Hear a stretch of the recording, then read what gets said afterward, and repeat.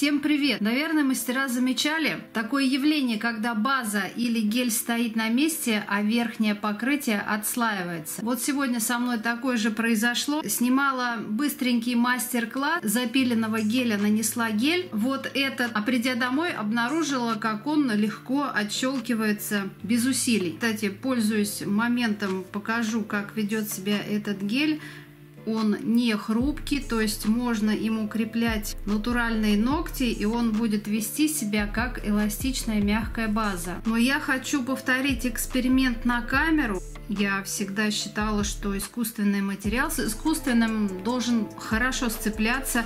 Ну вот, например, когда мы делаем выкладной френч, да, запиливаем улыбку и на запиленную поверхность выкладываем дальше гель.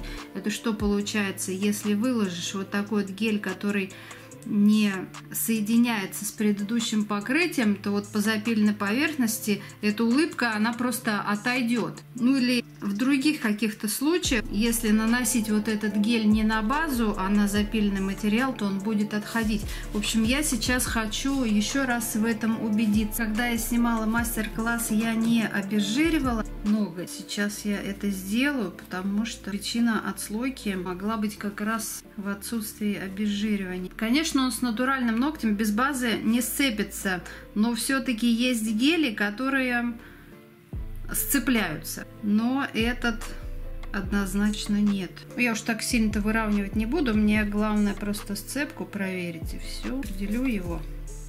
Также писали по поводу пузырей, то, что можно апельсиновой палочкой пузыри убирать. Они убираются не за один раз, приходится иногда прям несколько раз тыкать.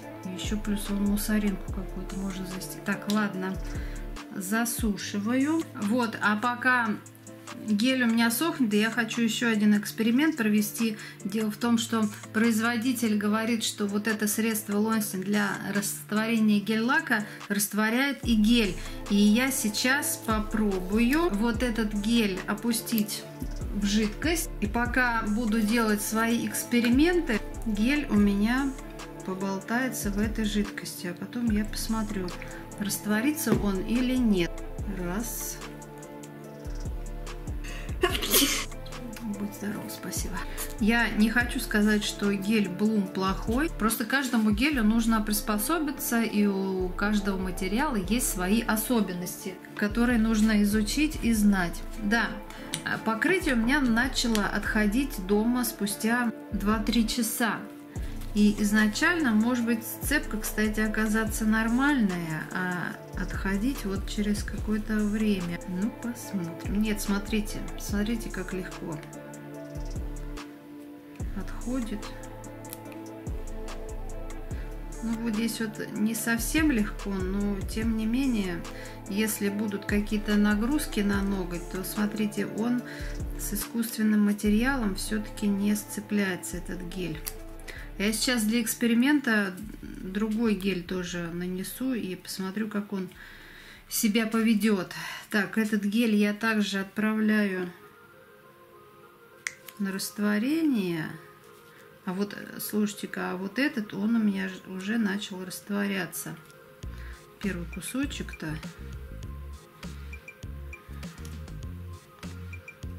здесь, смотрите, пупырышек такой образовался. В общем, какая-то реакция уже пошла, так? Я возьму гель Зина для эксперимента и посмотрю, как он продержится. Вообще, все это время я была уверена, что искусственный материал с искусственным должен хорошо сцепляться и базу прослойку базы между ними наносить не обязательно. База нужна только для сцепления с натуральным ногтем. А тут оно, видишь, как оказывается. Ну, сейчас вот на Зине посмотрим, как она себя будет вести. Все, выравнивать не буду, сказала она, продолжая выравнивать. Всю лампу. Посмотрю, что у меня тут с испытуемыми образцами. Ну, во всяком случае, их тут корежит однозначно. Их тут колбасит. Не по-детски. Смотрите. какая деформация. Не знаю, можно ли считать это растворение. Тут буквально пару минут прошла. Давайте я еще уж подержу, потому что производитель сказал, что на растворение геля требуется больше, больше времени, поэтому у нас за весь январь не было ни одного солнечного дня. И как так получилось, что витамины у меня закончились, новые я не покупаю. И теперь я сплю днем, как в детском садике. Прям вот каждый день сонливость. Скажите, у вас тоже так?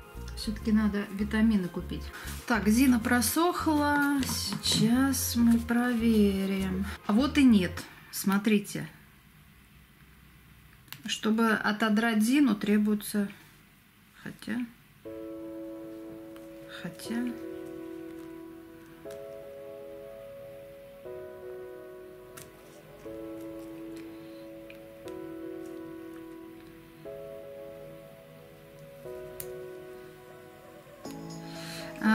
от натурального ногтя Зина легко отошла, а вот, э, а вот от искусственного я чувствую, я сейчас вместе с ногтем буду отдирать. Вот э, смотрите, от искусственного ногтя, ну вот с искусственным материалом, видите, она соединилась. Я тут даже вместе с предыдущим покрытием отодрала, видите, а вот от искусственного материала я отодрать не могу. Вот.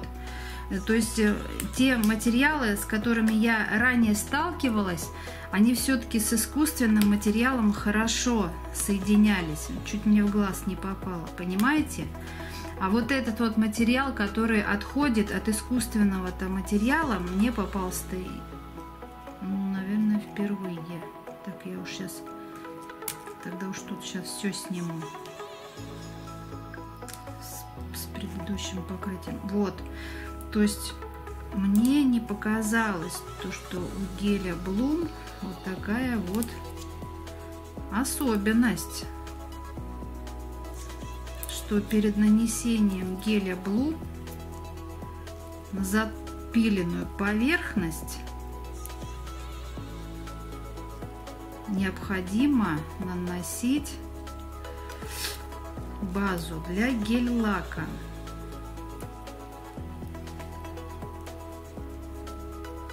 Бедные мои ногти. А, дело в том, что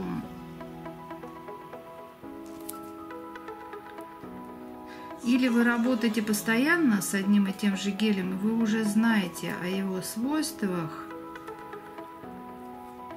а если берете то один гель, то другой, свойств его вы не знаете, поэтому на всякий пожарный Лучше бы, конечно, наносить базу на запиленную поверхность. Получается, что каждый раз. Вы видите, что творится-то? Вот это сюрприз.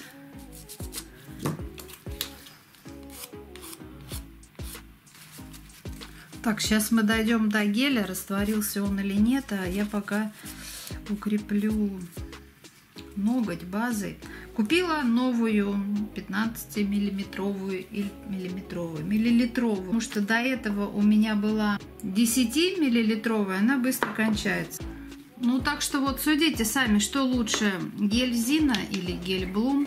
И гель Зина мягкий в тонкий слой, и гель Блум мягкий в тонкий слой. По цене я вас сейчас не ориентирую, не сориентирую, что здесь пластиковая баночка, что здесь пластиковая баночка, правда покрасивее. Объем, что здесь 15 миллилитров, что здесь 15 миллилитров. Здесь может сэкономлено на оформлении банки. А сама-то банка Сама-то баночка один в один. А по качеству лично я выбрала бы Зину, потому что сами видели, вот этот слоился, а этот нет. Вот такая правда матка. Прошло минут шесть. Да, гель действительно растворяется. Это для меня тоже, конечно, открытие, потому что я всегда считала, что гель не растворимый материал.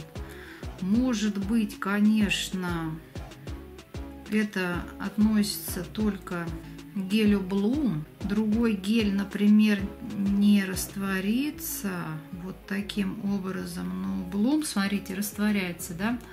И это тоже для меня, между прочим, открытие. Я еще пыталась спорить с производителями, говорю, да нет, гель нерастворимый материал, оказывается, вы видите, растворимый.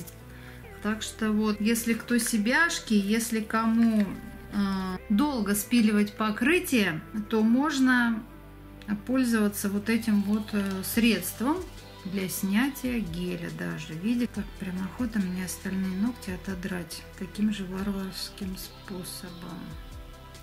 Они не поддаются. Не поддаются, поэтому возьму-ка я вот это вот средство домой и попробую себе снять гель вот таким способом. Ссылку на него я оставлю. Вообще это видео было не ради вот этого средства, а ради геля Bloom. На этом я с вами прощаюсь. Желаю не попадаться на казусные ситуации, знать хорошо свои материалы, как они себя ведут. И я с вами на этом прощаюсь. Желаю творческого вдохновения. Всем пока! Квадрат мне не идет.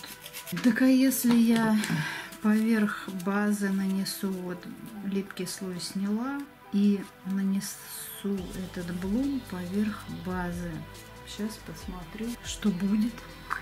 А результат, будет ли стоять гель поверх базы без липкого слоя, я выложу в Телеграм. Вот такая вот я жопа. Так что подписывайтесь на Телеграм, ссылка будет в описании под видео. Всем пока!